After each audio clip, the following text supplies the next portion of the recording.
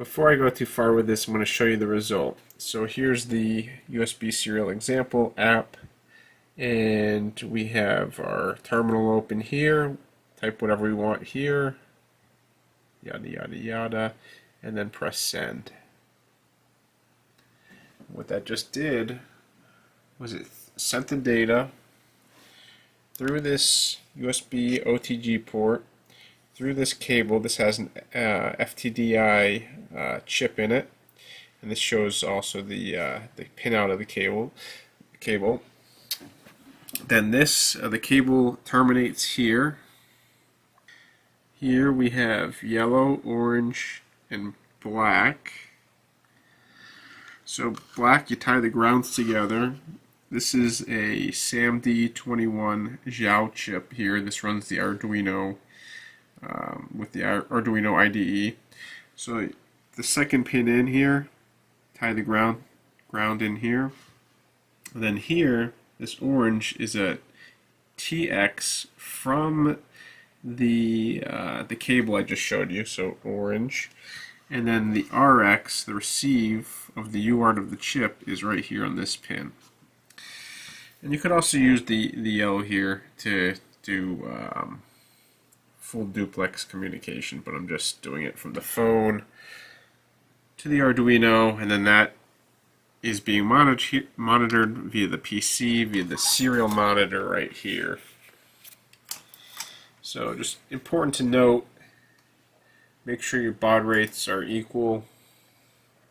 I'm using 115-200, and you can also set that in here. Uh, let's see, we can go back and then here, and then baud rate.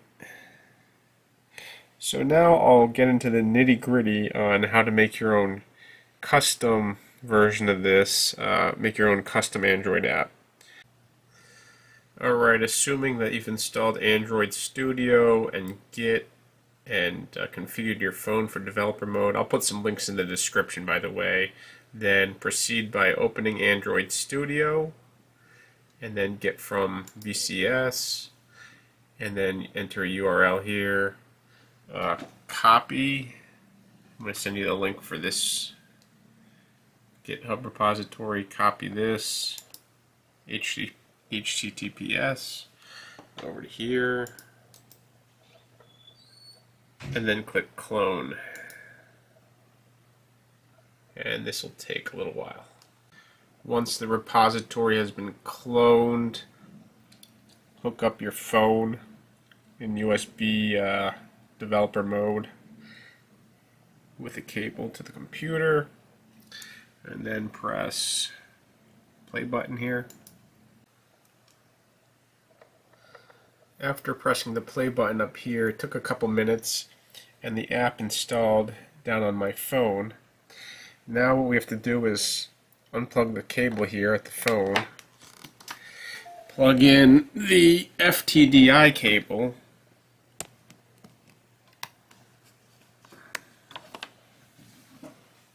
there we go. Here it's asking which app to open it up with. This is the one that just downloaded. And then it's recognizing the device. Click it set the baud rate. Oh, whoops. And uh,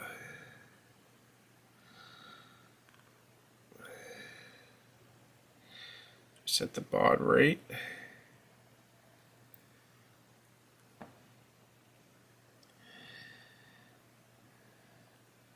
Click it.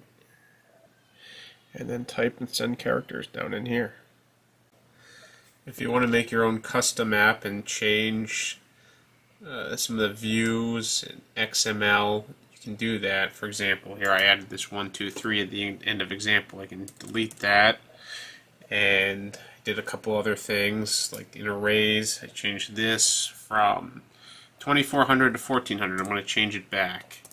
And when I'm ready, click here, make project. That takes like five minutes, and then run. And that'll run it back on the phone here.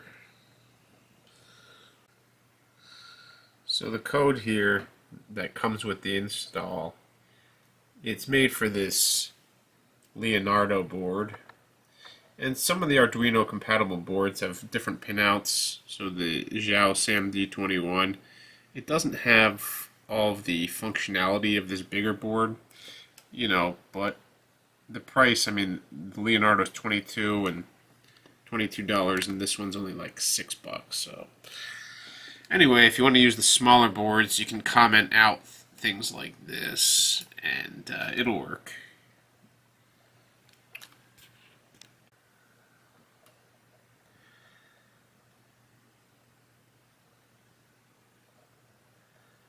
So all these look good.